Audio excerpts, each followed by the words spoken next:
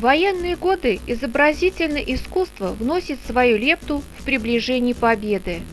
На передовой между боями выпускались газеты, плакаты, придумывались карикатуры. Главная пропагандистская роль отводилась плакату и политической карикатуре. За годы войны только центральные издательства выпустили свыше 800 плакатов. Сегодня, спустя десятилетия со времени его создания, плакат 1941-45 годов остался искусством нестареющим, острым, боевым и призывным. Тяжелы были первые месяцы войны. Враг теснил нашу армию, захватил Белоруссию, Украину, Прибалтику, кольцом блокады окружил Ленинград, подбирался к окрестностям Москвы. На занятой территории гитлеровцы истребляли советских людей, жгли деревни, насильно увозили молодежь на немецкую каторгу. Первым плакатом, расклеенным на стенах домов 23 июня 1941 года, был лист художников Кукрыниксов «Беспощадно разгромим и уничтожим врага». Плакат изображал Гитлера, который нарушил пакт о ненападении между СССР и Германией, и красноармейца, вонзившего штык в его голову. Среди многих работ тех дней лист Корецкого «Наши силы неисчислимы», Плакат нес идею создания единого народного ополчения для борьбы с врагом. Художник обратился к символу русского национального патриотизма – скульптуре матроса Минин и Пожарский, которая на плакате олицетворяла Москву и весь многонациональный советский народ. Тогда же, в июне 1941 года, Корецкий создал композицию «Будь героем», этот плакат, увеличенный в несколько раз, был установлен вдоль улиц Москвы, по которым в первые недели войны проходили колонны мобилизованных жителей города.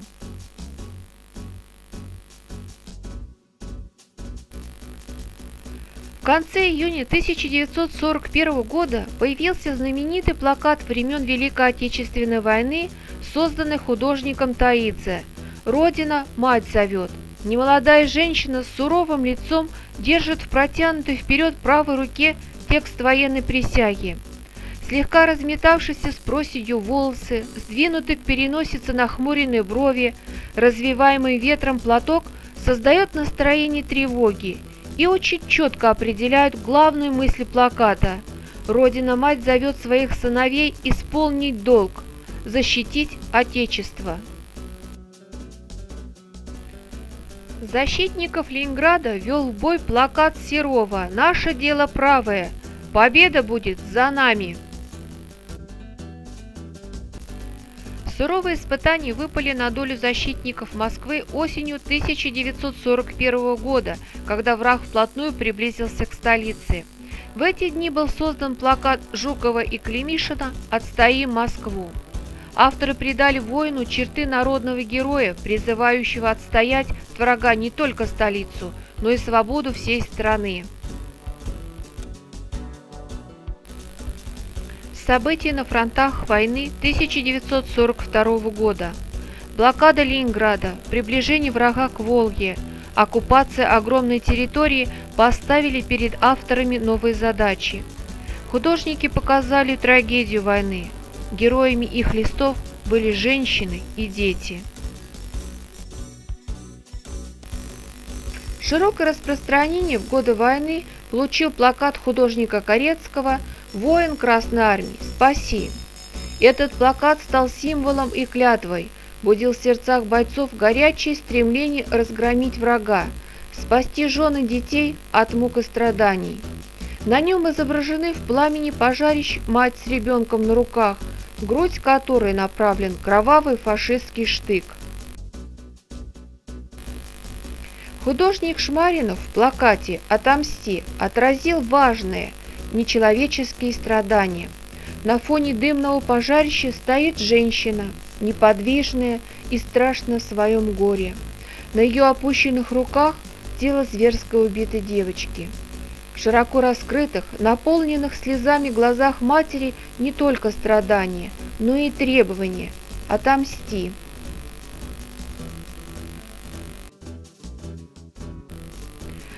Страстью борьбы был наполнен плакат Корецкого «За Родину», на котором смертельно раненый матрос бросал гущу врагов противотанковую гранату.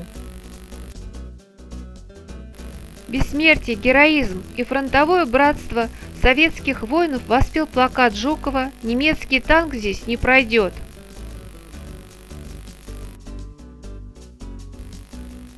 Победа под Сталинградом продемонстрировала всему миру несгибаемую силу бойцов и мощь Красной Армии, сумевшей противостоять многотысячной немецкой армаде и отбросить врага от Волги. Об этом плакат Дни и Долгорукова «Сталинград». В 1943 году в советский плакат проникли новые настроения, вызванные решительным переломом в ходе войны. Больше стало в нем светлых и радостных ноток, вызванных предчувствием Великой Победы.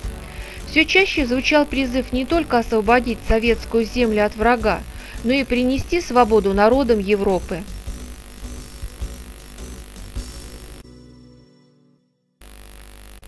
Советская армия остановила, а затем отбросила врага, и когда Иванов в плакате «Пьем воду родного Днепра» создал прекрасный образ бойца, зачерпнувшего каской священную воду освобожденного Днепра, наша армия рвала фашистские цепи, опутавшие страны Европы.